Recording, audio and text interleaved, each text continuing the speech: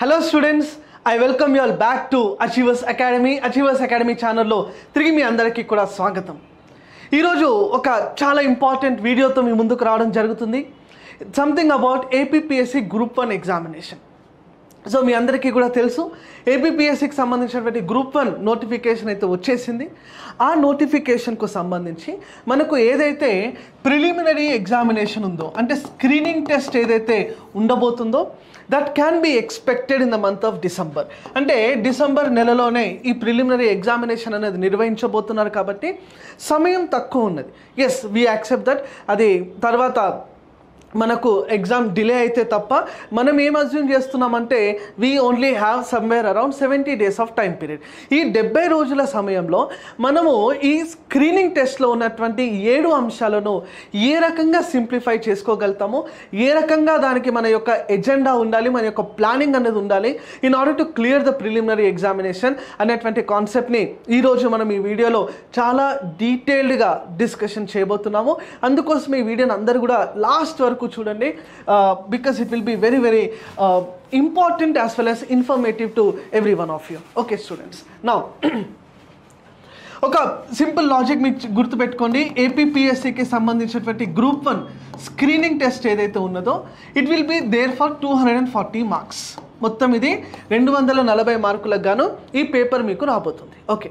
దీంట్లో ఎన్ని ఏరియాస్ నుండి క్వశ్చన్స్ అడుగుతారమ్మా అంటే మొత్తం మనకు రెండు పేపర్లు. అంటే paper one and paper two ఈ రెండు పేపర్స్ కూడా కలుపుకొని ఒక్కొక్క paper one twenty marks one twenty marks అంటే మొత్తం ఈ ప్రిలిమినరీ ఎగ్జామినేషన్ అన్నది అన్నది టూ ఫార్టీ మార్క్స్కి నిర్వహించబోతున్నారు. ఓకే.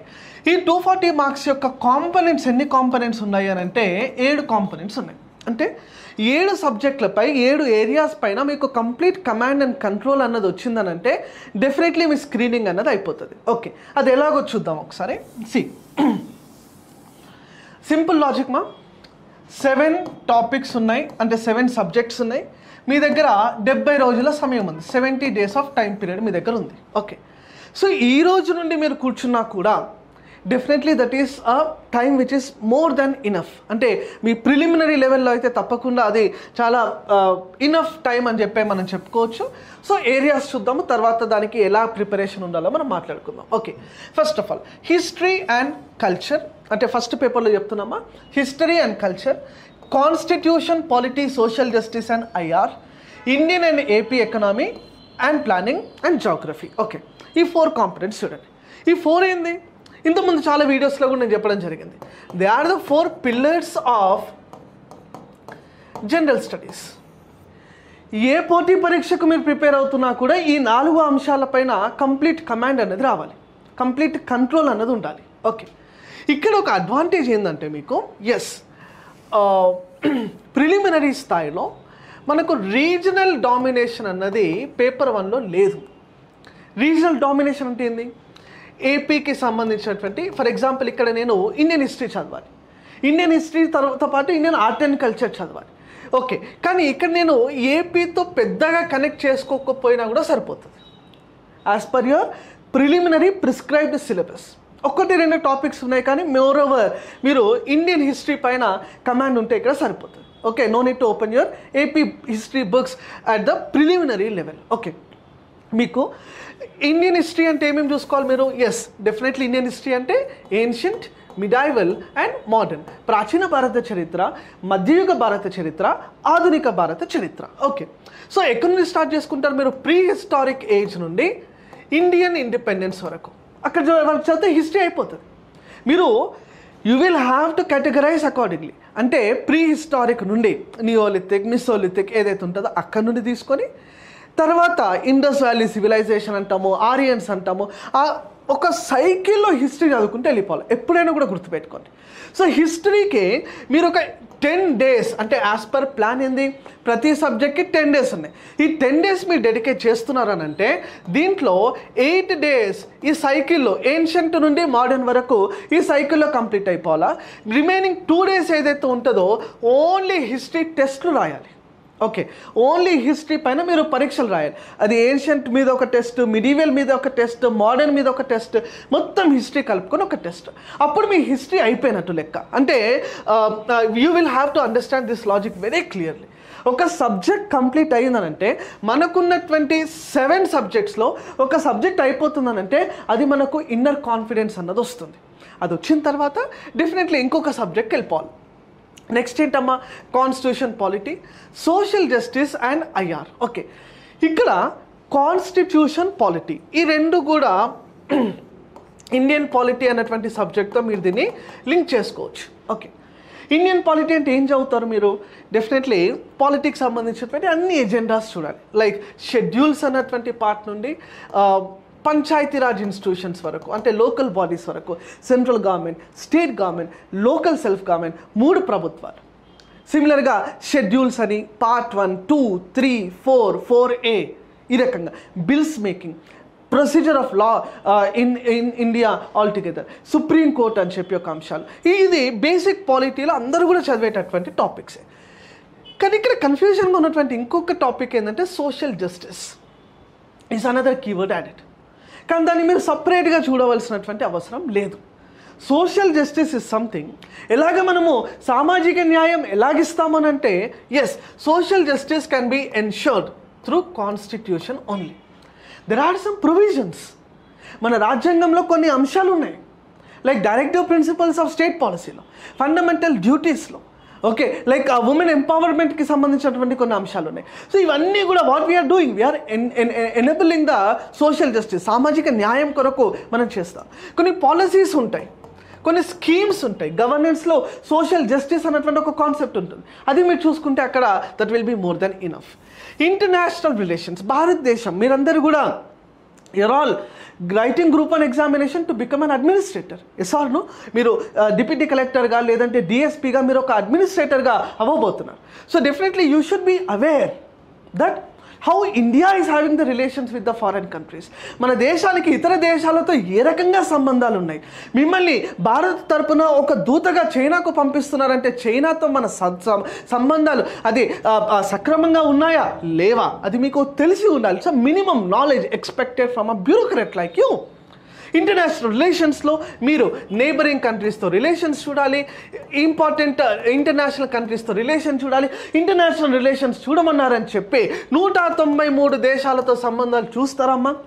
చూడొచ్చా? ఎస్ చూడొచ్చు. కానీ అది అవసరమా? నో మనకు for example we had relations with USA we should do that మనకు ఆస్ట్రేలియాతో సంబంధాలు ఉన్నాయి జపాన్తో సంబంధాలు ఉన్నాయి జర్మనీతో సంబంధాలు ఉన్నాయి.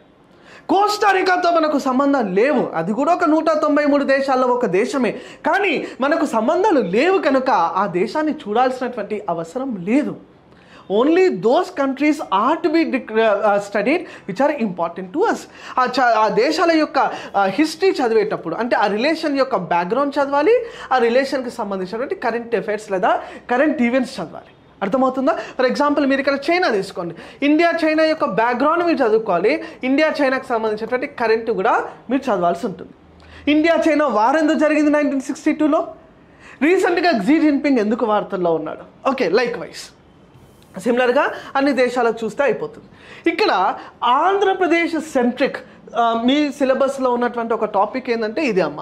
That is Indian and AP economy and planning okay? Indian and AP economy and planning దీనికి కూడా ఒక టెన్ డేస్ మీరు డెడికేట్ చేయండి. పాలిటిక్ ఒక టెన్ డేస్ హిస్టరీకి ఒక టెన్ డేస్ ఎకనామీకి ఒక టెన్ డేస్ ఓకే ఇక్కడ చాలా చాలా స్పెసిఫిక్గా ఒక టాపిక్ని రాయడం జరిగింది ప్లానింగ్ అని చెప్పి. ఓకే ప్లానింగ్ అనేది మీకు ప్ర ప్ర- ప్రస్తుత కంటెక్స్లో చూసుకుంటే ఎకనామీలో planning is uh outdated topic బేసికల్గా ఎందుకంటే ప్లానింగ్ కమిషన్ పోయింది నీతి ఆయోగ్ వచ్చింది ఫైవ్ ఇయర్ ప్లాన్ అన్న కాన్సెప్టే లేదు ఇప్పుడు.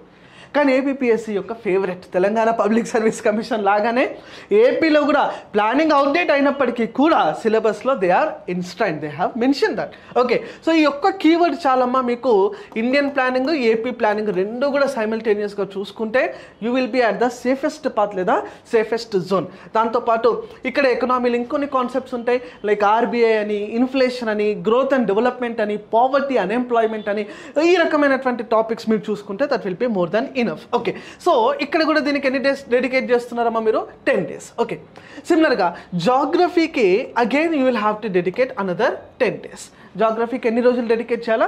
ఇంకొక పది రోజులు మీరు ఇక్కడ జాగ్రఫీకి డెడికేట్ చేస్తే సరిపోతుంది.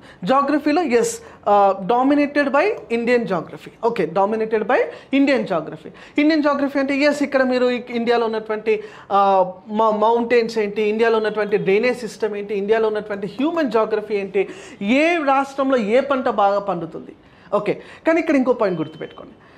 ఇండియన్ జాగ్రఫీ ప్రిలిమినరీలో డామినేట్ అవుతుంది కానీ ఆంధ్రప్రదేశ్ రాష్ట్రంలో రీసెంట్గా ఏర్పడినటువంటి నూతన జిల్లాల యొక్క సమాచారం. Okay new districts information. Like తెలంగాణలో ముప్పై మూడు జిల్లాలు ఏర్పడినట్టుగా ఆంధ్రప్రదేశ్లో కూడా నూతన జిల్లాలు ఏర్పడినాయి. ఆంధ్రప్రదేశ్లో వచ్చినటువంటి new districts information are very very very very important. Okay అది డైరెక్ట్గా మీ సిలబస్లో లేకపోయినా కూడా మీరు చదవాలి. ఎందుకంటే బిట్స్ వస్తాయి. ఓకే ఏపీ స్కీమ్స్ నవరత్నాలు మీరు చదవాలి. ఏపీ ఎకనామీ ఉంది ఇక్కడ. ఓకే. ఆంధ్రప్రదేశ్ రాష్ట్రంలో వైఎస్ జగన్మోహన్ రెడ్డి గారు తీసుకొస్తున్నటువంటి ప్రతి ఒక్క పాలసీ మీకు తెలిసి ఉండాలి. డైరెక్ట్గా సిలబస్లో లేకపోయినా పరోక్షంగా ఇండైరెక్ట్గా క్వశ్చన్స్ రాబోతున్నాయి. ఓకే. ఈ నూతన జిల్లాల సమాచారం అనేది ఇక్కడ జాగ్రఫీలో అడగకపోయినా ఇక్కడ ఒక కాంపనెంట్ ఉందమ్మా. Current affairs of regional national and international importance అని. ఏం చెప్తున్నా నేను? ప్రాంతీయ జాతీయ మరియు అంతర్జాతీయ అంశాలు. Current affairs. రీజనల్ అంటే ఏందమ్మా ఇక్కడ? రీజనల్ అంటే ఏపీఏ కదా? ఏపీ రీసెంట్గా జరిగినటువంటి కరెంట్ అఫైర్ ఏంటి? నూతన డిస్ట్రిక్ట్ క్రియేషనే కదా? నూతన జిల్లాల ఏర్పాటు రాజధానుల వికేంద్రీకరణ బిల్లు ఇవే కదా ఏపీలో జరుగుతున్నటువంటి నూతన విధానాలు నూతనంగా ఉన్నటువంటి కరెంట్ అఫైర్స్ సో అక్కడైతే తప్పకుండా మిమ్మల్ని బిట్ అడిగేటటువంటి అవకాశాలు చాలా ఎక్కువగా ఉన్నాయి. ఓకే సో ఈ రకంగా మీరు ఈ ఫోర్ కాంపనెంట్స్కి టెన్ టెన్ టెన్ డేస్ ఇచ్చుకుంటే సరిపోతుంది. Eight days for preparation two days for the test ఒకటే గుర్తుపెట్టుకోండి. మీరు ఎంత బాగా ప్రిపేర్ అయినా కూడా test రాయలేదా? You'll be in to trouble you'll be in to big trouble I'm saying this unless and until you are writing a test మీరు test రాస్తేనే మీకు ఒక సబ్జెక్ట్ పైన గ్రిప్ అన్నది కమాండ్ అన్నది రావడం జరుగుతుంది. ఓకేనా? నెక్స్ట్ సెకండ్ పేపర్ మా. ఇది కూడా స్క్రీన్ టెస్టే ఇక్కడ ఏమేమున్నాయి చూడండి. General mental ability administrative and psychological abilities first component general mental ability అంటే ఇక్కడ బేసికలీ మీకు మీ రీజనింగ్ అర్థమెటిక్ ఇట్లాంటి కొన్ని క్వశ్చన్స్ ఇక్కడ అడుగుతారు. ఓకే అది ఆర్ఎస్ అగర్వాల్ బేసిక్స్ చూసుకున్నా కూడా సరిపోతుంది కానీ కొద్దిగా హై లెవెల్లోనే క్వశ్చన్స్ వచ్చేటటువంటి అవకాశాలు ఉన్నాయి. అడ్మినిస్ట్రేటివ్ అండ్ సైకలాజికల్ ఎబిలిటీస్ ఇది ఎందుకు చదవాలి సార్ అంటారు? ఎందుకు చదవాలంటే you are going to be a part of our administration మన పాలనా విభాగంలో మీరు ఒక భాగం కాబోతా ఉన్నారు. And when you are being a part of our administrative setup you are you are been insisted by the government that you know that మీకు emotional intelligence అంటే ఏంటో తెలియాలి. ఎథిక్స్ అంటే ఏందో మీకు తెలియాలి. డెసిషన్ మేకింగ్ అంటే ఏందో మీకు తెలియాలి. కరప్షన్ చేయకుండా ఉండాలి. అంటే ఒక జెన్యున్ ఆఫీసర్ లైక్ క్వాలిటీస్ ఏదో మీకు తెలియాలి. ఆఫీసర్ అవ్వాలనుకుంటున్నాం. డిప్యూటీ కలెక్టర్ అవ్వాలా? డిఎస్పీ కావాలా? కానీ అవన్నీ కూడా అవ్వాలనంటే దానికంటే ముందు మీకు కావాల్సింది ఏందమ్మా? ఓఎల్క్యూ ఏం కావాలన్నా? ఓఎల్క్యూ ఆఫీసర్ లైక్ క్వాలిటీ అది మీ అందరిలో కూడా ఉన్నదా లేదా ఏపీఎస్సి చూసే ప్రయత్నం? ఎగ్జామ్ అయినాక ఇంటర్వ్యూలో ఎలాగో చేస్తుంది. కానీ అంతకు ముందే మీకు ఆ ఎబిలిటీ ఉన్నదా లేదా చూడాలా? చూడొద్దా? చూడాలి. సో అందుకోసమే ఈ సెక్షన్ ఒక సబ్ సెక్షన్గా ఇక్కడ యాడ్ చేయడం జరిగింది. నెక్స్ట్ మా సో దీని కొరకు డెఫినెట్లీ ఎస్ టెన్ డేస్ చాలా ఎక్కువనే నేను మీకు టైం ఇస్తున్నాను but ten days are very very enough to complete this particular part okay next science and technology science and technology అంటే ఇక్కడ చూడండి కరెంట్ ఈవెంట్స్లో కూడా సైన్స్ అండ్ టెక్ వస్తుంది. Recent launches for example science and tech మీరు ఎన్ని సెగ్మెంట్స్లో divide చేసుకుంటారు? స్పేస్ అని డిఫెన్స్ అని న్యూక్లియర్ అని కంప్యూటర్ అని క్లియర్ ఎనర్జీ అని చెప్పి ఈ రకంగా different segments will be dividing science and tech ఈ స్పేస్ టెక్నాలజీ యొక్క బ్యాక్గ్రౌండ్ చదువుకోవాలి. ప్రతి ఒక్క పిఎస్ఎల్వి బ్యాక్గ్రౌండ్ ఏంటి? జిఎస్ఎల్వి బ్యాక్గ్రౌండ్ ఏంటి ప్రస్తుతం మనం పనిచేస్తున్నాం ఆర్ఎల్వి పైన రీయూసబుల్ లాంచ్ వెహికల్ దాని యొక్క ప్రాముఖ్యత ఏంటి? ఓకే ఎన్ని శాటిలైట్స్ మనం లాంచ్ చేస్తున్నాం? ఇస్రో అంటే ఏంటి? సతీష్ ధావన్ స్పేస్ సెంటర్ అంటే ఏంది? ఈ బ్యాక్గ్రౌండ్ తెలుసుకోవాలి. సిమిలర్గా డిఫెన్స్లో మన మనకు సంబంధించినటువంటి మిసైల్ సిస్టమ్ ఎలా ఉంటుంది? ఓకే డిఆర్డిఓ యొక్క రోల్ ఏంది? ఓకే ఐజిఎండిపి అంటే ఏంది? ఇండిజి indigenous guided missile development programme అంటే ఏంటి? దాంట్లో భాగంగా ఏ మిసైల్స్ మనం డెవలప్ చేసినాం? పృథ్వీ అంటే ఏంది? అగ్ని అంటే ఏంటి? త్రిశూల్ అంటే ఏంది? నాగ్ అంటే ఏంటి? ఆకాష్ అంటే ఏంటి? దీంట్లో సర్ఫేస్ టు సర్ఫేస్ మిసైల్ అంటే ఏంది? సర్ఫేస్ టు ఎయిర్ మిసైల్ అంటే ఏంది? ఎయిర్ టు ఎయిర్ మిసైల్ అంటే ఏంది? ఈ రకంగా you will have to know ఈ ప్రతి component computers basics of computers నుండి కంప్యూటర్స్ యొక్క జనరేషన్స్ నుండి ప్రస్తుతం మనం ఎన్నో జనరేషన్ ఆఫ్ కంప్యూటర్స్లో ఉన్నాము. ఆర్టిఫిషియల్ ఇంటెలిజెన్స్ అంటే ఏంటి? ఫస్ట్ కంప్యూటర్ ఎలాగైతే మనకు వాక్యూమ్ ట్యూబ్స్ని ఉపయోగిస్తుందో ఆ వాక్యూమ్ ట్యూబ్ స్థానంలో మనం ఏ రకమైన కంప్యూటర్స్ని ఈరోజు ప్రస్తుత కాలంలో సమకాలీన ఈ ఈ యొక్క అంశంలో ప్రస్తుత జనరేషన్లో which generation we are using that has to be known super computer అంటే ఏంటి? ప్రపంచంలో ఫాస్టెస్ట్ సూపర్ కంప్యూటర్ ఏంది? ఇండియాలో ఫాస్టెస్ట్ సూపర్ కంప్యూటర్ ఏంది? ఈ నాలెడ్జ్ అంతా కూడా మీకు ఉండాలి. దీన్ని కరెంట్ కనెక్ట్ చేసుకుంటే మళ్ళీ ఈ టాపిక్లోకి వచ్చేస్తారు మీరు. పిఎస్ఎల్వి హిస్టరీ చదువుకుంటే science and tech recent PSLV launch చదువుతున్నారంటే అది కరెంట్ అఫైర్ అగ్ని గురించి చదువుకున్నారంటే అది సైన్స్ అండ్ టెక్ రీసెంట్గా అగ్ని ఏ మిసైల్ని మనం టెస్ట్ ఫైర్ చేసినామో కరెంట్ అఫైర్ డిఆర్డిఓ బ్యాక్గ్రౌండ్ చదువుకుంటే సైన్స్ అండ్ టెక్ డిఆర్డిఓ ప్రస్తుత చైర్మన్ ఎవరు చదువుకుంటే కరెంట్ అఫైర్ ఆ రకంగా మీరు దాన్ని మీకు తగినట్టుగా మార్చుకోవాలి. సిమిలర్గా ఎవ్రీ సబ్జెక్ట్ ఓకే ఇప్పుడు last and most important component చాలామంది నెగ్లెక్ట్ చేసేటటువంటి కాంపనెంట్ అమ్మ దీనికి కూడా నేను టెన్ డేస్ ఇస్తాను సార్ టెన్ డేస్ ఎందుకు సార్ కరెంట్ అఫైర్సే కదా అంటారు. ఎస్ కానీ ఈ కరెంట్ అఫైర్స్లో ప్రస్తుతం ఈ వీడియో చూస్తున్నటువంటి అభ్యర్థుల్లో ninety nine percentage of the స్టూడెంట్స్కి ఉన్నటువంటి ప్రాబ్లం ఏంటంటే కరెంట్ అఫైర్స్కి సంబంధించి వాళ్ళకు బ్యాక్లాగ్ ఉన్నాయి. Okay they have the backlogs backlogs అంటే ఏంది? ఈ current అఫైర్స్ని for example notification have come in the month of October September October September ఎండింగ్లో నోటిఫికేషన్ వచ్చింది. మనలో జోష్ వచ్చింది. మనలో చదవాలన్న కసి వచ్చింది. ఆ చదవాలన్నటువంటి ప్రేరణ వచ్చింది మోటివేషన్ కూడా వచ్చింది. వచ్చిన తర్వాత అక్టోబర్ ఫస్ట్ నుండి మనము న్యూస్ పేపర్ ఓపెన్ చేయడం ప్రారంభించినాం. ఎస్ ఆర్ నో కానీ డిసెంబర్ నెలలో మీకు ఎగ్జామ్ ఉందనంటే డిసెంబర్ నెలలో నవంబర్ ఒకటే కరెంట్ అఫైర్స్ అడుగుతారా? అడగరు. అక్టోబర్ ఒకటే అడుగుతారా? అడగరు. లాస్ట్ సిక్స్ మంత్స్ డెఫినెట్లీ మీరు బ్యాక్ వెళ్ళాలి. అంటే అక్టోబర్ నవంబర్ అయితే మీరు ఎలాగో చదువుతారు రెగ్యులర్గా మీకు ఇప్పుడున్న బ్యాక్లాగ్స్ ఏందమ్మా? అంతకుముందు అక్టోబర్ కన్నా ముందు సెప్టెంబర్ సెప్టెంబర్ కన్నా ముందు ఆగస్ట్ ఆగస్ట్ కన్నా ముందు జులై జులై కన్నా ముందు జూన్ సో ఈ రకంగా బ్యాక్లాగ్స్ని ఫస్ట్ మీరు కవర్ చేసుకుంటూ రావాలి. కరెంట్ అఫైర్స్లో అన్ని కాంపనెంట్స్ని చాలా చాలా డీటెయిల్డ్గా చూడాల్సినటువంటి అవసరం ఉంది. ఐదు బిట్లు రావునన్నా ఇక్కడ. ఆరు బిట్లు రావు మూడు బిట్లు రావు. One single digit current affairs కాదు. It is dual digit double digit current affairs ఇక్కడ మిమ్మల్ని అడగబోతున్నారు కాబట్టి ఈచ్ అండ్ ఎవ్రీ కాంపనెంట్ మీరు చూడాలి. కరెంట్ అఫైర్స్లో కరెంట్ పాలిటీ చూడాలి. కరెంట్ ఎకనామీ చూడాలి. కరెంట్ ఎన్విరాన్మెంట్ చూడాలి. కరెంట్ కల్చర్ uh, uh, సంబంధించి. రీసెంట్గా ఇండియాలో ఏమైనా పండుగలు మనం జరుపుకున్నామా? అవి మనం చూసుకోవాలి. దాంతోపాటు పర్సన్ ఇన్ న్యూస్ వార్తల్లో ఉన్న వ్యక్తులు రీసెంట్గా ఏమైనా అపాయింట్మెంట్స్ జరిగినాయా? రీసెంట్గా ఏమైనా మరణాలు జరిగినాయా? ఆర్బిచరీస్ ఏమైనా అయినాయా? కృష్ణం రాజు గారు మరణించడం జరిగింది. కృష్ణం రాజు గారికి ఏ రకమైన పదవులు ఇంతకు ముందు వారు అనుభవించారు? అదే రకంగా రీసెంట్గా ఏదైనా కూడా నో పురస్కారాలు వస్తే ఆ పురస్కారాలకు సంబంధించిన వ్యక్తులు ఎవరు? India got new attorney general అతనికి సంబంధించినటువంటి విశేషాలు. India got new president Draupadi Murmu గారికి సంబంధించిన విశేషాలు. India got new vice president దానికి సంబంధించిన విశేషాలు. ప్లేసెస్ ఇన్ న్యూస్ వార్తల్లో ఉన్న ప్రదేశాలు. Places in news.